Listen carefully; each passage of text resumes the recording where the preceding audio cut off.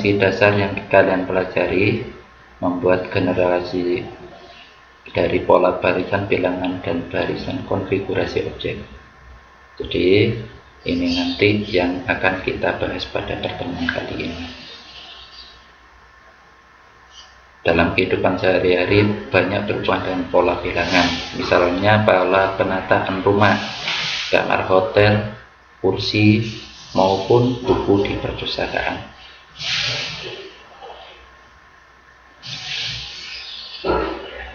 Kita buat peta konsep tentang barisan dan deret. Itu yang pertama yang kita bahas hari ini adalah pola bilangan.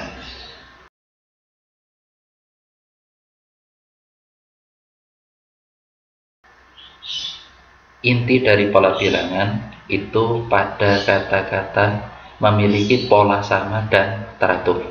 Contoh, ada bilangan ganjil, ada bilangan genap, mulai angka 2, 4, 6, 8, dan seterusnya. Bilangan segitiga, 1, 3, 6, 10, dan seterusnya. Bilangan persegi atau bilangan kuadrat,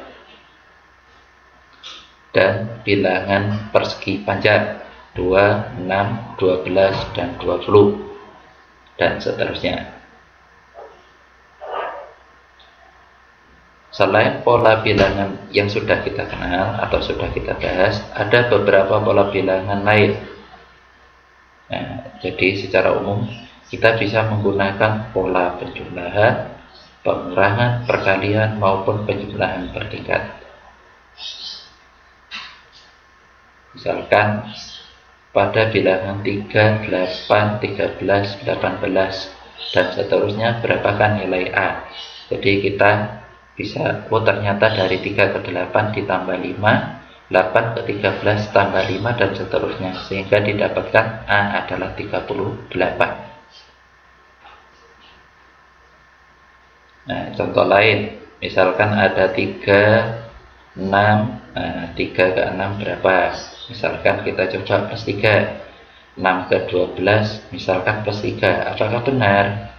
Oh ternyata tidak. Ya 6 ke 12 itu bukan plus 3 tapi plus berapa? plus 6 sehingga tidak memiliki pola yang sama.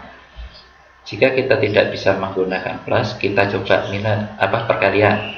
3 ke 6 dikali 2 6 ke 12 kali 2 lah sehingga ketemu pola yang sama. Sehingga untuk seterusnya itu pasti 96 nah, 96 kali 2 hasilnya 100 92 terus dikali 2 lagi ketemunya 384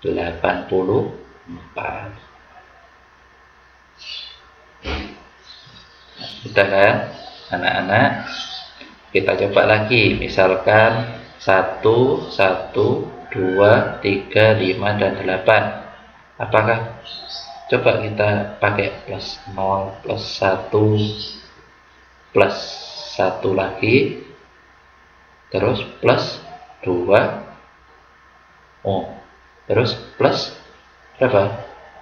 Plus 3 ya dari 5 ke 8 itu plus 3 ini nah, karena ini seperti ini ini dinamakan pola bilangan Fibonacci.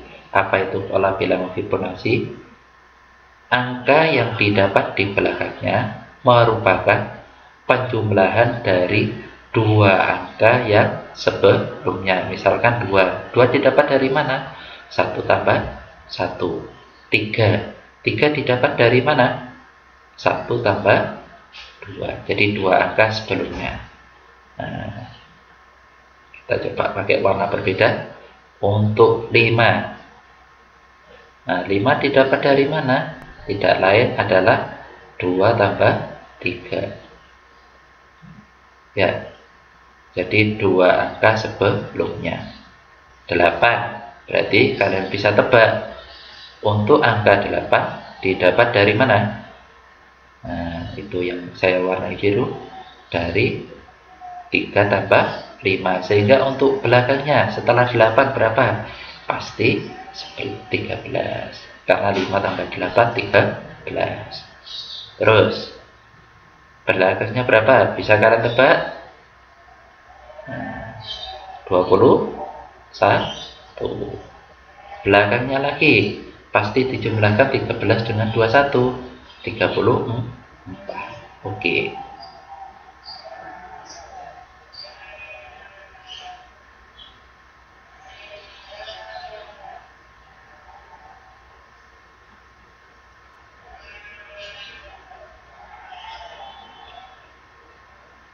kalian perhatikan dulu cermati sebelum kita ke, ke soal selanjutnya. Nah, tentukan 5 suku pertama dari suatu pola bilang dengan rumus UN sama dengan 3N plus 2 UN ini adalah suku ke.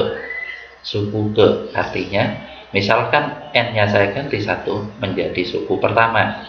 Nah, N sama dengan 1 otomatis N yang ada di angka 3 atau 3N itu N-nya kita ganti dengan angka 1 sehingga menjadi 3 kali 1 plus 2 sama dengan berapa? 5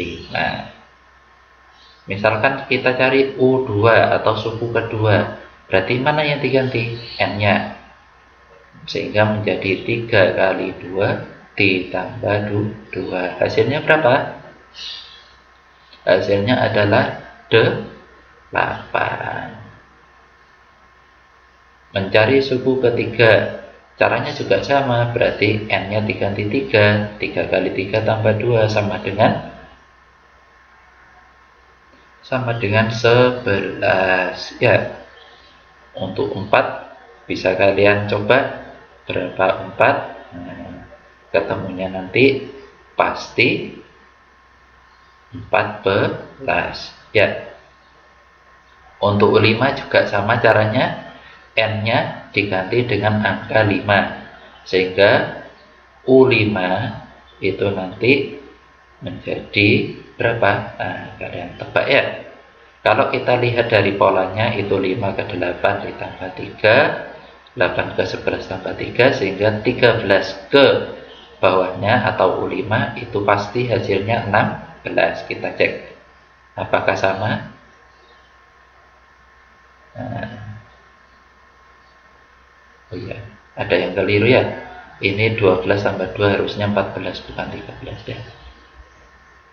Nah, ternyata benar antara U5 yang menggunakan UN dengan menggunakan pola itu hasilnya sah, sama yaitu 17. Soal ke-6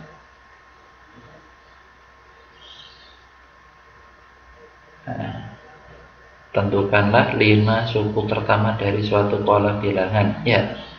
Sehingga langsung saja uh -uh, UN sama dengan setengah N N nya diganti satu karena kita mencari U1 ya. Nah, sehingga didapatkan hasilnya U1 sama dengan satu. Untuk U2 N nya diganti 2 hasilnya Jadi tiga per tiga. Ya oh ya tiga ya dua kali dua per dua itu satu. Nah, untuk U tiga tinggal dicoret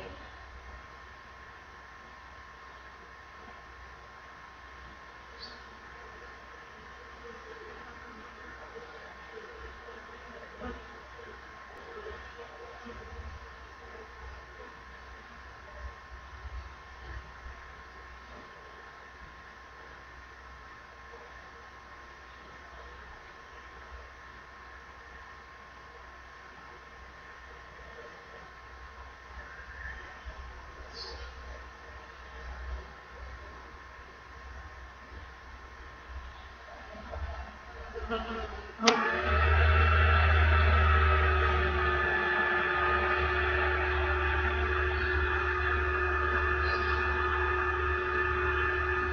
dicari adalah U5 U5 nya ketemu berapa? Hmm, ya. Ketemu 5 ya oke. Lanjut dari situ kita dapatkan oh ternyata polanya naik bertingkat ya dari plus 2 plus 3 plus 4 maupun plus 5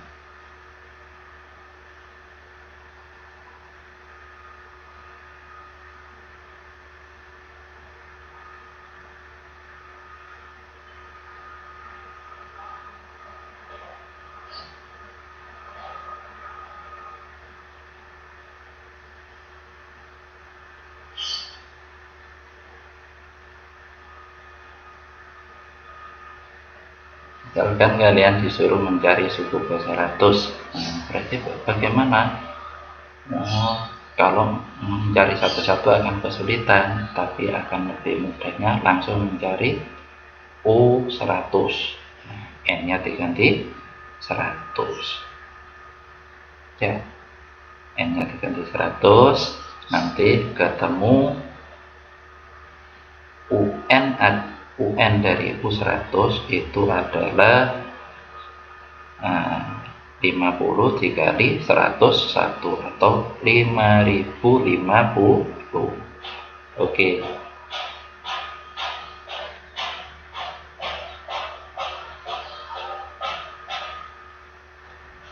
soal yang nomor 7 ya. Tentukan lima suku pertama dari suatu pola bilangan nah saya kira kalian sudah bisa menerapkan yaitu tinggal ganti aja ya. Oke tidak perlu dijelaskan lagi ya. Untuk satunya tinggal ganti aja n nya dengan satu. Nanti U2 nya tinggal ganti aja n nya dengan dua dan seterusnya ya. Jadi untuk pertemuan kali ini eh, saya kira cukup sekian. Nanti kalau ada yang belum jelas bisa ditanyakan diskusi via grup ya. Dan untuk selanjutnya untuk latihan soal nanti bisa lihat di bagian uh, apa file yang saya kirim sebagai latihan soal. Nah itu saja dari saya. Jadi kalau misalkan ada kurang dan lebihnya nanti saya mohon maaf.